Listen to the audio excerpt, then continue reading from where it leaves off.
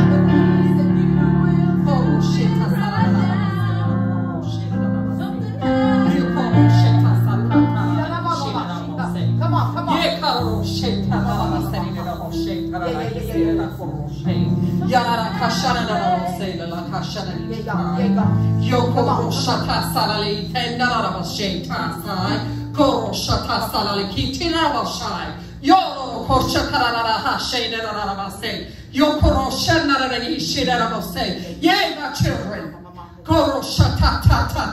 Yea my children. Yea my children. As you look to the right and the left things look bleak indeed. But listen to my voice. Listen to my spirit. The greatest time is coming. Woo! Come on. The greatest time is coming for my children. You have not seen the things that I am about to do, saith God. Yeah, God. Yeah, God. You have not seen, you have not even imagined do, saith God.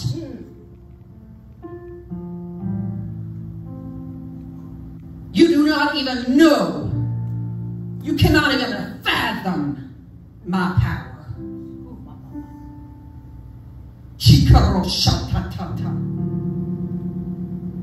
Dear ones, do you not realize that He is the one that spoke the world into existence? In an instant,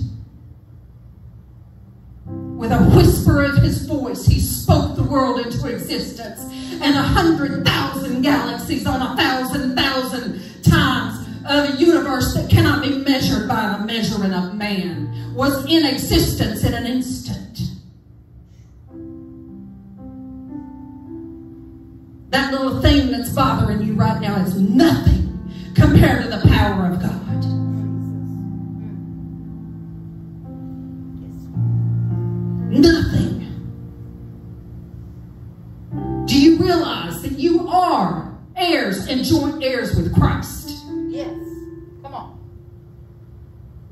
All Jesus had to do was speak to a problem and it became right. Come on. Come on. My child, don't you realize that all you have to do is speak to a thing Woo. and make it right?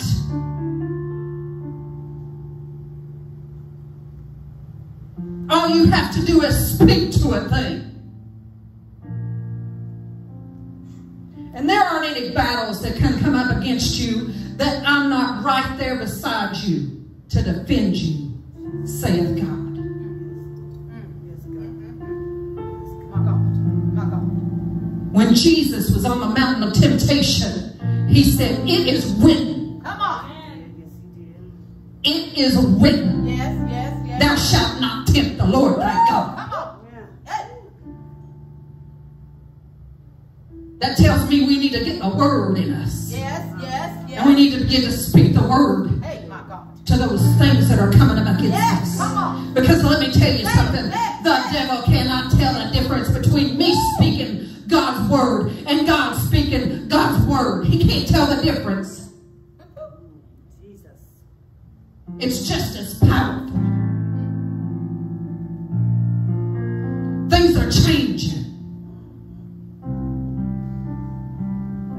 Things are changing. Right? Mm. Come on. There's a change, there's a shifting. Woo. Yeah, yeah, In yeah. the atmosphere. Yeah, yeah, yeah, yeah, God. Ooh, my God.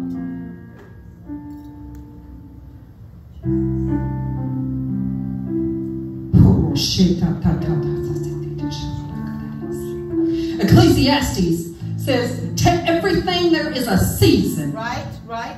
and a time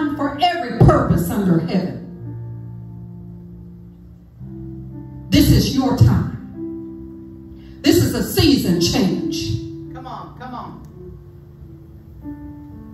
You see, throughout our lives, God set everything into seasons as we go through. Yes, Lord. Yes, Lord. Even the earth is set up in seasons. And it doesn't matter where you are on earth, there are seasons in that place. Yes, Now, see, here we have four seasons winter, spring, summer, and fall. Come on. And there's some places on earth that don't have a winter, spring, summer, and fall. They have a rainy season and a dry come on, season. Come on. Yes, yes. But there's always seasons.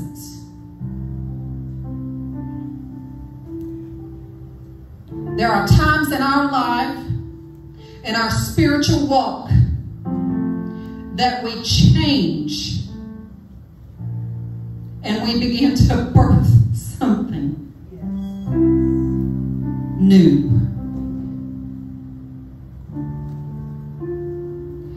Ladies, when your season changes, you're going to feel the birth pains coming through. Things are going to come up against you that you never could have imagined. But this is not unto death. Ti ta to ko to to so ta tai. Yes, God. Yes, God. Before I go any further, I'm going to tell you a little bit about myself.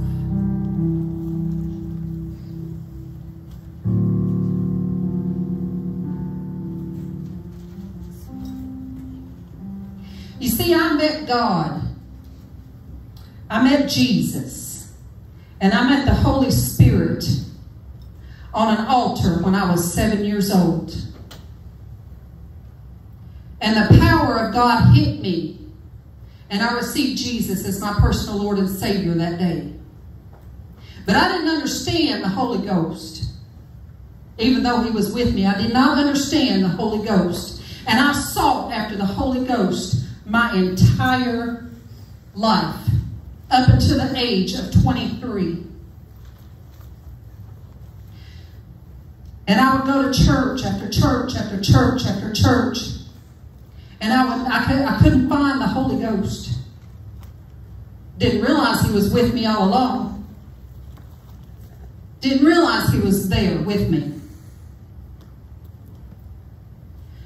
But one night, you see, I grew up as a, a, Methodist. That's the, that's the church that we went to most often when I was a teenager. I was a Methodist. And then I started going to Church of God, Pentecostal, fire baptized. I didn't understand that fire baptism, but I knew that they had something that I wanted. And one night after a particularly awesome service, I went home. I took my little three three little children home. They were little at that time. I threw- took my three little children home, and I laid down. And I woke up about one or two o'clock in the morning. I don't remember exactly when it was. Straight up in my bed, speaking in tongues. And I, I, was- I was like, I could, I, I could not stop. I didn't understand what was going on, but God said, It's okay. It's okay. It's okay. It's okay. It's me. Let go. and it's been on ever since. It's been on ever since. This Bible, this is the way I believe. This is the Word of God, divinely inspired. I believe every word in this book, from Genesis to Maps. If God said it, that settles it. If He said I could do it, then it's possible. Because the Bible says it is written, nothing is impossible with God. That means if the sick need to be healed and I have the faith that God gave me, I can go lay hands on the sick and they shall recover. That means if I have the faith that God gave me, I can start walking around hospitals and they'll start popping up out of their beds. I'm telling you, I've seen it in the spirit for years. Walking through the hospitals and the shadow as we pass by rooms, people popping up hospital out of hospital beds. Walking down the street and the drug addict set free. But the one thing we've got to do is we've got to get out there. Yeah. Ladies, they're not going to come to us. We've got to go to them. Yes. So many people on the streets have been hurt by church. Now let that sink in a minute. They've been hurt by church. They come in off the street selling tricks or dealing drugs, and they walk in those doors, and the first thing they feel from God's people is judgment. Come on here. Telling the. Preach. Yes. You know, when I was taught to fish, you didn't clean that fish till you got it in the boat. You don't clean a fish in the water. That fish will die. And their blood is going to be required on our hands. Yes. Amen. Yes. We have to go to them. Jesus didn't say, everybody come to Jerusalem to see Jesus Christ, Son of God. Come on. He went to them. He got on his sandals. He gathered up his 12 disciples and he went. Come on. Come on.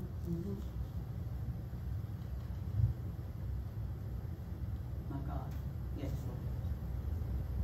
Right now, the entire body of Christ is going through a season of change. Yep. Yep. Yes, Come on. That's the truth. And this is a season, Veronica, you said it, Dr. Simpson.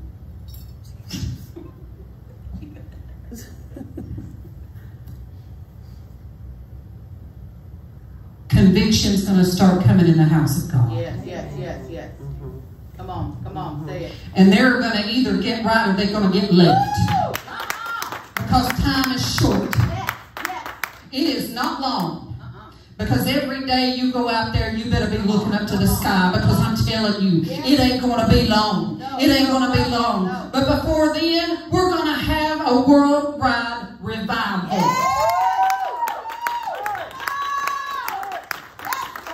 And it's not going to matter what church you're from. Come on. Ooh. It don't matter whether you're from the Church of God or the, the uh, Pentecostal church or the Apostolic church or the Baptist church or the Methodist church or the uh, Whatever. whatever. Yeah, thank you. It doesn't matter. Do you believe in Jesus? Because that's all that matters. Come on. That's all that matters. It doesn't matter whether you're black or you're white or you're Hispanic. It's all that matters is Jesus. One thing that Je- one thing that has been burning in my spirit is to go out there and get those souls Yes, Lord. Yes, Lord. because there are people out there that need Jesus. Come on. And how are they going to come in unless we get up off our seat of complacency and go get them? How are they going to know? There's people in the United States that don't even know who Jesus is. My God. That's the truth. How are they going to know unless we tell them? How are they going to come to Christ unless we know, unless we tell them the way? We have to show them the way. We have to speak the word. We have to go out there and get them, ladies and gentlemen. Come on. And there's many of us that have been through some stuff. Over the past few years, there's not too many people that can say they haven't been through stuff. That's the truth. But some of you have suffered spiritual injuries. Ooh, come on now. Say it. Say it. Yes. That is the truth. Yes. And so those spiritual injuries have put you on the sidelines like a wounded warrior. Ooh, come on. Say it. Yes, Lord. Uh-huh. Those spiritual injuries have made you a bench warmer. That's good. Come on. In 1 Kings 19, 9 through 10, Elijah's in the cave. And he came thither into a cave and lodged there. And behold, the word of the Lord came to him. And he said unto him, What doest thou here, Elijah? What are you doing in this cave? And he said, I have been very jealous for the Lord, God of hosts, for the children of Israel have forsaken thy covenant, thrown down thine altars, and slain thy prophets with the sword. And even I, I only, am left. and they seek my life to take it away. Mm, mm, mm.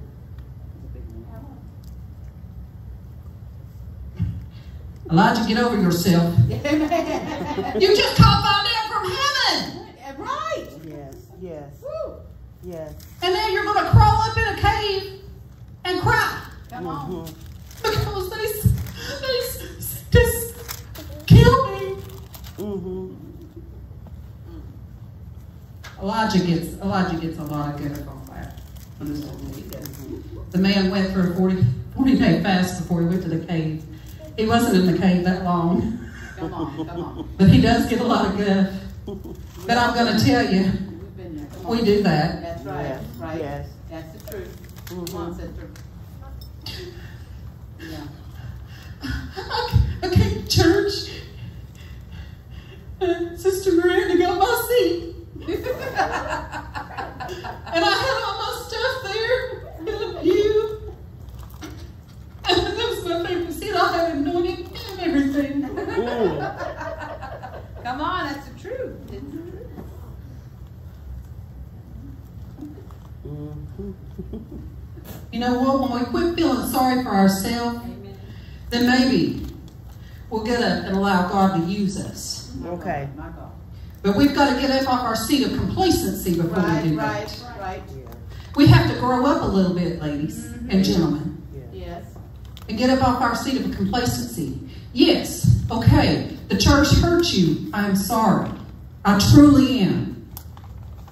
But the church is not God. Right. God loves you. That's right. That's right. God loves Yes. you. Yes. For anybody that is listening, God loves you Yes. so Yes. much Yes. that He sent His only Son Come on. to on. die for you. Right. Amen. Ooh, my God. Amen. Great love. Come on. Amen. So Elijah was wounded. So in our condition, we backed off. This thing happened, whatever it was, this thing. We backed off and we stopped fighting. And we started compromising things. My God. My God. My God. Yep.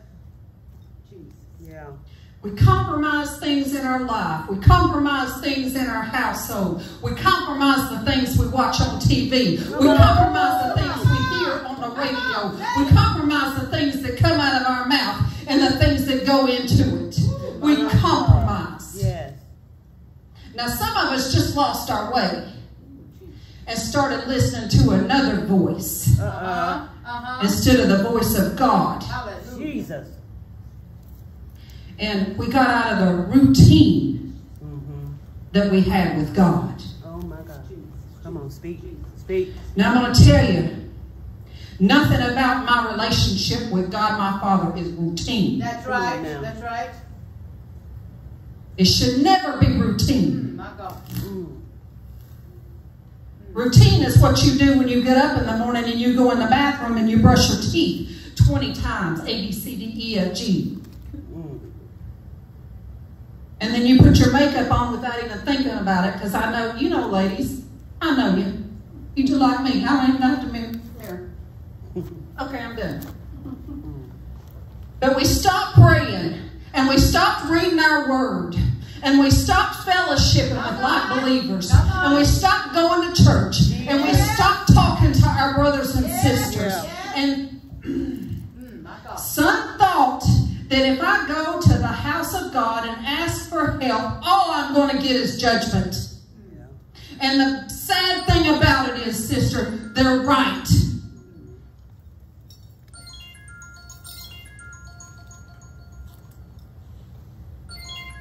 God's calling.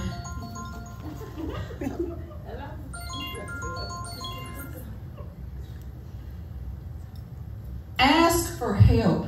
Come on. We couldn't ask for help. We couldn't ask.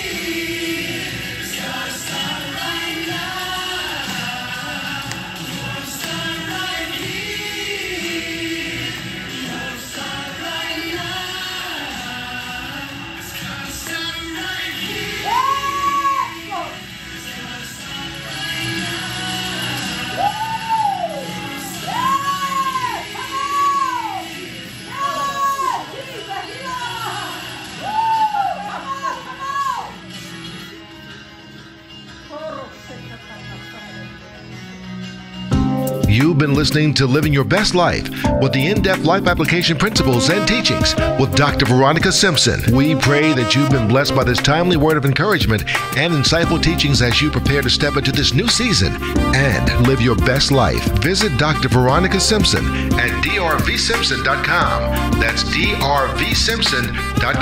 On Facebook at Veronica H. Simpson. Instagram at Hazel Simpson 316. On YouTube, Pastor Veronica Simpson. Speaker, advocate, author, and educator sought after empowerment, veteran, revisionist thinker, and a transformative leader that possesses a mantle to meet the needs of everyone. Dr. VS would love to host your next event, workshop, or conference. Contact her at veronicasimpson59 at yahoo.com. That's veronicasimpson59 at yahoo.com for more details.